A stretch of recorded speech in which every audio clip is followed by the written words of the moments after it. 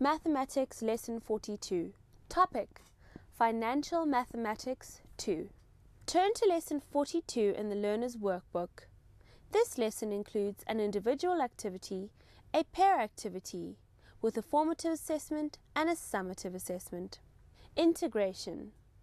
This lesson integrates with maths literacy, life orientation, and general banking knowledge. Prior knowledge. Grade 10 A knowledge of simple interest and compound interest. Lesson overview. In this lesson, you will learn about different compounding periods, learn about nominal and effective interest rates.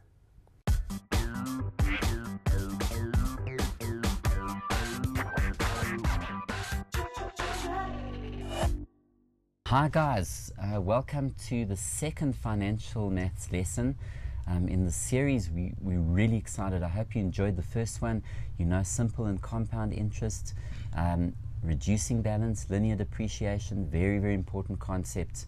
Today we're going to really, really have a wonderful time with two important grade 11 topics and um, these things are extremely important. Yes, Sanbonani Makaya. My name is Velo. It's another lesson, another good, uh, it's, it's, another good learning experience. I hope we're going to have a great, uh, great time together. So now let us start having a look at the learning outcomes and the assessment standard of the lesson that we're going to do. It will be a learning outcome one, where it's a number and the number relationships. And the assessment standard for you, you have to demonstrate an understanding of different periods of compounding, growth and decay. That include effective compounding, growth and decay, and include effective and the nominal interest rate. Now let's have a look at the lesson overview. What we're going to do. We're going to look at the different compounding periods, the nominal rates, and the effective rate. Watch out of the difference between the two rates, which is the nominal rate and the effective rate. There is a difference between them. You have to be careful because it is a tiny difference. Looking at the different compounding periods, we'll just quickly look at the annual rate. Okay, the annual rate, different compounding periods. The annually, it's once per year. And now we have a half yearly, which is happening twice a year. That means every six months you have an interest. Quarterly, that's four times per year. That will be every single three months. Very important, people. Um, you need to understand if you're talking of quarterly, okay, it's four times in the year. That doesn't mean every four months, okay, it's every single three months um, per year. So that's three months, three months, three months, three months, making up, of course, your. That's a, that's a very year. important note you've just made there. Very, very important. Mm. Now, the monthly, that means we know that there are 12 months in one year. That means you're getting an interest 12 times a year. Daily, 365 times per year, excluding leap years. Um, who knows what a leap year is?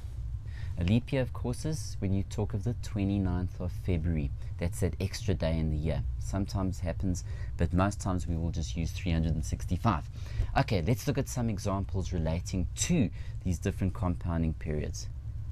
Let's look at the example one. It says calculate the future value of an investment of 10,000 after three years at an interest rate of 18% per annum compounded annually. Now, if you look at the timeline, you can draw the timeline because it helps you to clarify the situation. That means from T0 to T1, that's one year. So let's have a look at the example.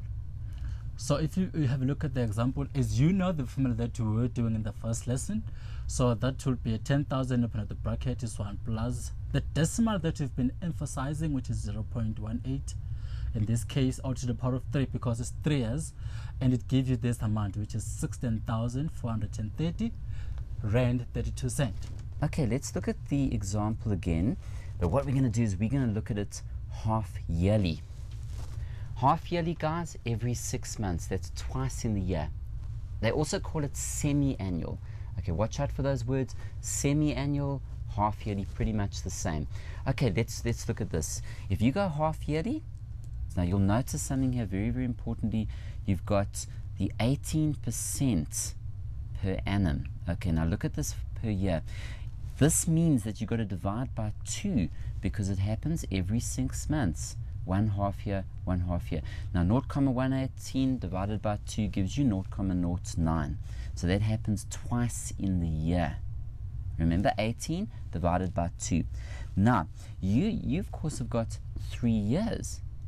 Now that would then of course give you logically, you know, one, two, three, four, five, six. See there. Now let's look at the calculation quickly. Again, very, very important. 10,000, 18% as a decimal divided by 2 to the power of 6. That's 6 half years. Very, very important. Rest is really, really nothing in this one. And you simply then work out the calculation and you probably see you're getting more money. Isn't that interesting? A lot more money here.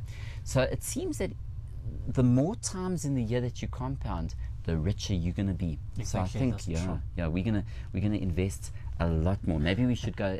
Imagine investing every minute. What a pleasure. yeah. Let's go on.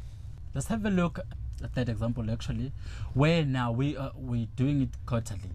Remember, we said the more you get the the interest in the year, the more you get the money at the end of the year. So now let, let's have a look at the quarterly. How many times are you getting an interest? Four times a year. Because we have the first quarter, that's each and every three months of the year.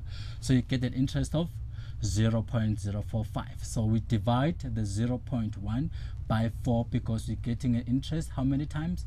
Four times. That means each three months we get an interest of 0.045. Let's look at uh, the example done. You could say that in the bracket you have 0.18 divided by 4.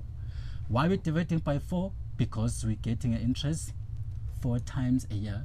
But in how many years? Actually, in three years, that will be 12. Okay? So there we have an amount that we get, here, as you can see. Let's have a look at it if we go monthly quickly. Let's go and have a look here. The timeline. Notice, very important, you've got the year, the total year there. But guess what? We're doing it 12 times per year. That means January, February, March, April, May. So it goes on.